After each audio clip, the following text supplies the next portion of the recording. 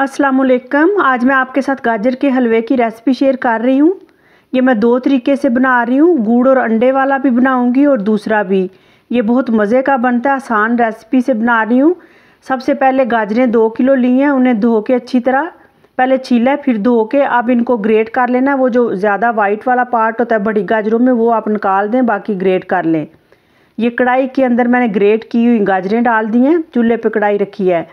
अब इसके अंदर एक कप दूध और एक कप दूध से जो बलाई उतरती है, वो मैंने डाल दिया है। ये जो घर में दूध आता है, वो बलाई। इस तरह भी ये आप जल्दी से बना सकते हैं और बहुत मज़े का हलवा बनेगा। जो भी आपके पास बलाई है, वो आप डाल लें और दूध थोड़ा सा डाल के अब इसको कवर करके पकाऊँगी। मैंने मिक्स कर दिया इसे। ये आठ से दस मिनट इसको कवर करके पकाऊँगी और बीच में ढक्कन खोल के इसको हिला दूँगी। ये गाजरें अपना भी पानी छोड़ती हैं। और ये दूध और बलाई से मज़े का फ्लेवर आएगा। ये कम टाइम में और कम दूध में इस तरह मज़े का बनेगा। इसमें बहुत ज़्यादा दूध डाल के भी पकाते हैं और क्विक एंड इजी रेसिपी भी है कि इसको आप गला लें और इसके अंदर मिल्क पाउडर ऐड कर लें। ये अब जिस तरीके से भी आप चाहें वो बनाएँ। अब ये मैंने ढक्कन बंद करके उसको थोड़ा सॉफ्ट कर लिया। गाजरें सॉफ्ट हो गई हैं। अब इसका ढक्कन खोल के लिया मैंने। अब इसको हिलाते हुए इस तरह करूँगी ताकि वो खुश्क हो जाए इसका वो लिक्विड फिर इसको मैं आधी निकाल लूँगी। और आधी के अंदर मैं चीनी डालूँगी। ये अब गाजरें सॉफ्ट हो गई और लिक्विड भी खुश्क हो गया आधी मैंने निकाल लिया, अब इसके अंदर वन फोर्थ कप चीनी मैंने डाल दी है। ये वन फोर्थ कप टेबल तीन टेबल स्पून बनते हैं। या आप अपनी मर्ज़ी से मीठा फिर जितना भी आप पसंद करते हैं, वो डाल सकते हैं।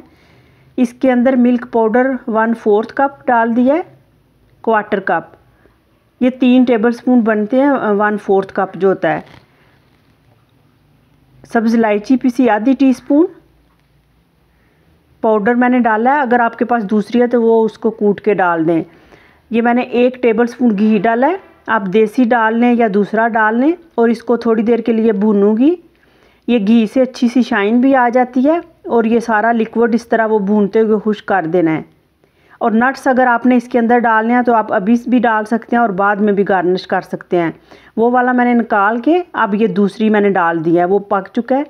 अब इसके अंदर गुड़ ऐड करूँगी। आप शक्कर ले लें या गुड़ ले लें। ये मैंने गुड़ डाल दिया है। ये भी आप अपने टेस्ट के हिसाब से डालें। ये भी वन थर्ड कप मैंने गुड़ अच्छी तरह छोटा वो करके वो डाल दिया है। और इसको हिलाऊँगी। ये आपने एहतियात करनी है कि गुड़ अगर मट्टी वाला है तो आप अलग से उसको मेल्ट करें, दो से तीन उसके अंदर चम्मच पानी डाल के फिर छान के डालें। और अगर मट्टी उसके अंदर नहीं है तो आप डायरेक्ट डाल लें। मिल्क पाउडर इसके अंदर वन फोर्थ कप, सब्ज़ इलायची आधी टी स्पून और इसको मिक्स कर रही हूँ और एक टेबल स्पून इसके में भी घी डाल दूँगी। ये गुड़ में अक्सर वो मट्टी होती है, वो पता चल जाता है, वो आप अलग से मेल्ट करके देख लें तो वो फिर उसको अलग से करें। अगर नहीं है तो आप डायरेक्ट डालें। आप घी डाल दिया और उसको भून रही हूँ। ये इसमें ना ही तो फ़र्क टेस्ट में कुछ आता है और ना ही कलर में।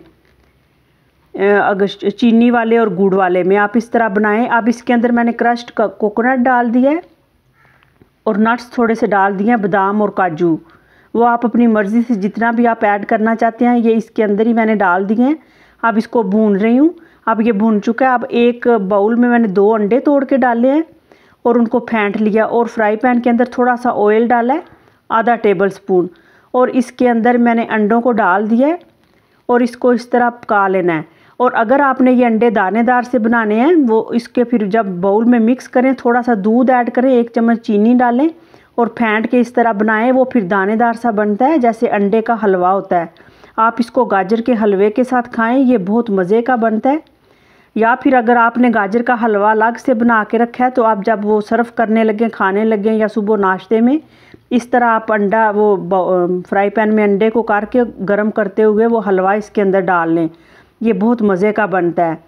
आप इसको ट्राई करें, बहुत ही टेस्टी बनता है। ना ही तो बालने की अंडों को ज़रूरत है, और इस तरह वो आप फ्राई पैन के अंदर ही करके गर्म कर सकते हैं।